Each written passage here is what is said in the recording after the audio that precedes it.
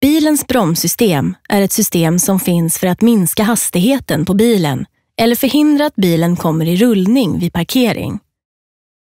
I bilen finns det två olika bromsar. Färdbroms och parkeringsbroms.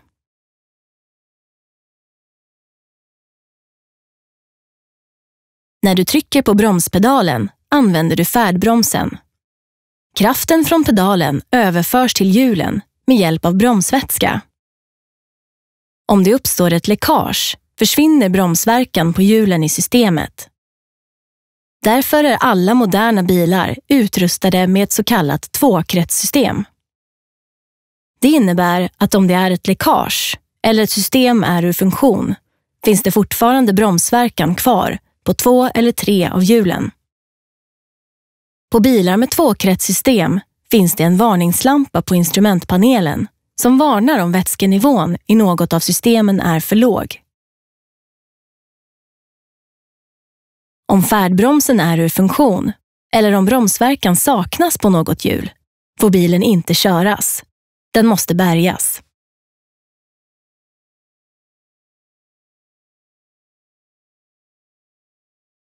Parkeringsbromsen, som även kallas för handbroms, aktiveras antingen med en knapp markerad med bokstaven P eller med en spak.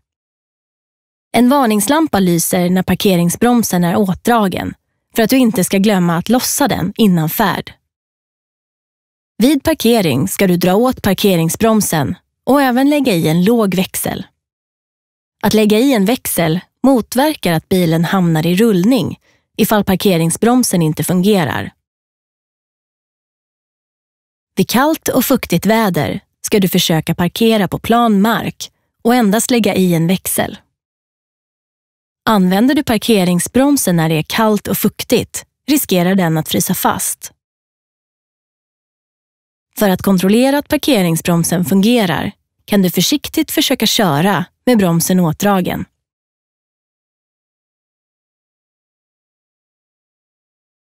Bromsservo är ett system som förstärker bromskraften från bromspedalen till hjulen. Ett lätt tryck på bromspedalen ger stor bromseffekt på hjulen tack vare bromsservosystemet. Bromsservon drivs av motorn och fungerar inte när motorn är avstängd. Är motorn avstängd måste du därför trycka hårdare på bromspedalen för att uppnå samma bromseffekt på hjulen. För att kontrollera att bromsservon fungerar trycker du ner bromspedalen några gånger och håller den nedtryckt samtidigt som du startar motorn. När motorn startar ska pedalen sjunka en aning om bromsservon fungerar.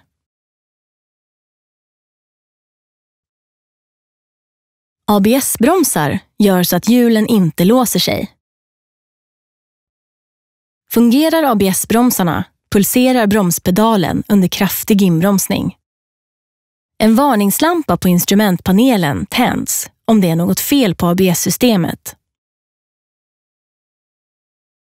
Fördelarna med ABS-bromsar är att det går att styra bilen även vid kraftiga inbromsningar. Risken för sladd minskar. Bromssträckan blir kortare på de flesta väglag. Det är viktigt att bromsarna alltid fungerar som de ska. Det finns varningslampor som hjälper dig, men det är även viktigt att du kontrollerar bromsarna manuellt med jämna mellanrum. För att manuellt kontrollera färdbromsen, tryck på bromspedalen med stor kraft under 15 sekunder. Stannar pedalen ungefär halvvägs ner och känns stum är bromsarna i bra skick. Känns bromsen fjädrande kan det finnas luft i systemet. Tar bromsarna för nära golvet kan de behöva justeras eller repareras. Sjunker pedalen långsamt finns det en läcka i systemet.